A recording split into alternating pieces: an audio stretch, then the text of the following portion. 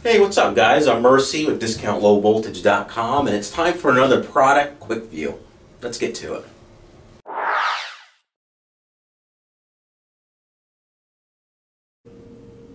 How to measure fiber optic cable. Now we're going to do that by using this tool by OWL, Optical Wavelength Laboratories, and the part number of this tool is Volt-1. That's V-O-L-T-1. Okay, now this measures the length of both multi and single mode fiber with accuracy of two and a half meters. And the length that this will measure is up to one and a half kilometers. Now I have a little setup right here in front of me, and I'm going to show you guys how to set this up. Let's get to it. Okay, so here I have a little setup just as an example so you can visually see it a little bit better.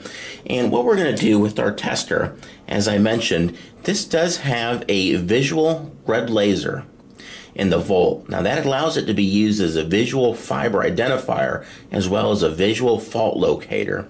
So what you want to do is you want to go ahead and this uses ST connectors. You want to get a patch cable with ST on one end. We're using a 62.5 multi-mode cable or main link run, so we're going to use a 62.5 patch cable. Match it up. Let's go ahead and take the cap off. There you go. Now this is the on and off switch. If you turn it to the left, that'll be the visual fault locator. You turn it to the right, that's when it'll do its test. So we're going to plug an ST into the connector and we're going to test a cable. We're going to make sure that we have light going through the strand that we're going to test and make sure there's no breaks. Make sure we're getting the signal through the strands that we're going to test. Okay, so we have the ST plugged in. Let's turn it on. We, we don't know exactly which one this is, so let's turn it on. Okay, so it's lighting up the red. So we're going to use this strand, plug it into the white strand. Let's make sure we got light going through.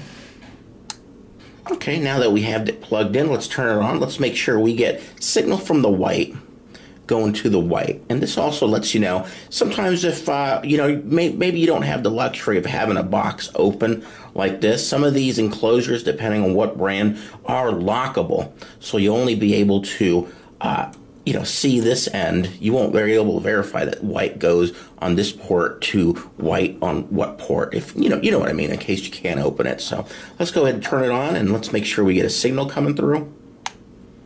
Okay, so we got a problem right there. Right here we have a break in the strand, so that lets us know that the white strand is no bueno. This is a six strand fiber. Let's go ahead and um, Let's make sure we got some good strands here. Let's check the blue and the orange. If these two get light through to the other end, then we'll go ahead and test it.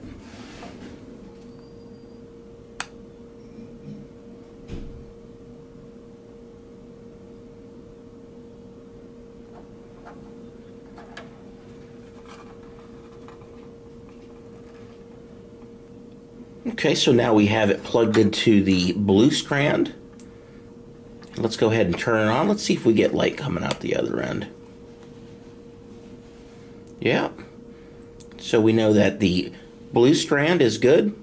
And we've also identified that, you know, for example, like I mentioned before, maybe this is locked and you can only see the front of this. You don't know what color strand goes to what.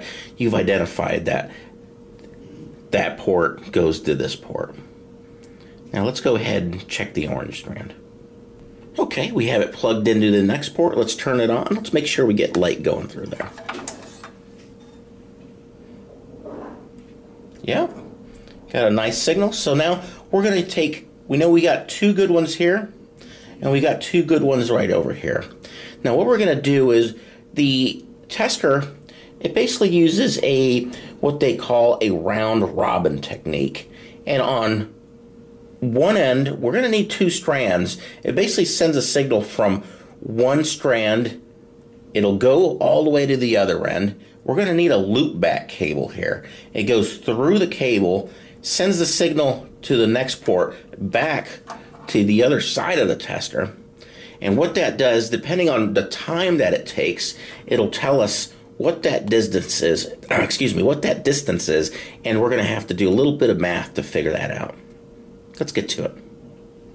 Okay, so as I mentioned before, we have two strands plugged into the two strands on this side, the two ports. It's going to send a signal down one of these strands.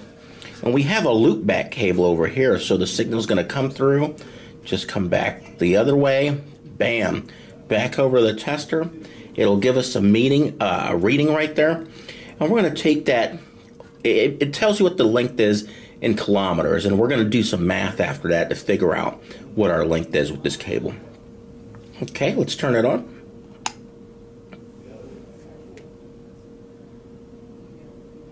Okay, so we have a 0.050 reading. Let's do some math. Okay, so before we go on with this video, I do want to take a quick moment to remind you guys to check out the YouTube channel and subscribe. There's a ton of great content on there. And if you really enjoy this video so far, you're going to enjoy a lot of videos that are on that channel. So check it out. Thanks. Now let's get back to it. Okay, so we're on our website, discountlowvoltage.com. And as you can tell, here it is, the volt. There's the price, 296 bucks. It's actually a great value for the price considering it also has a VFL, a visual fault locator, built into it. Some of those can get expensive just by themselves. So this is a great to add-on to your fiber toolkit. Um, let's see, what else can I tell you? If you do get one of these, don't forget to please write a review. We definitely appreciate those. Now let's scroll down to the bottom here. We want to go to the download section where we can open the manual. And we got to figure out, let's see here. Let's go to the bottom here. There's a lot of good info in the manual, but we pretty much covered it. Here we go. So what we need to do to figure out how long our cable is, we need to take the measurement that we had, which was the distance in kilometers, 0.050. That's what we had. And since we're doing feet, we're going to times it by feet. So let's see here, 0.0 Five zero times 3281.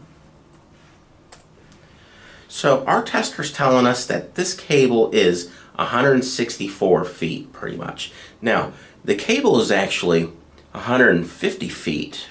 Now one thing I thought about was, well, I'm way off here. What's going on there?